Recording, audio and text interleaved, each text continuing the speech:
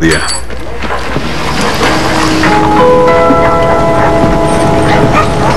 También mis hijos perdieron el día.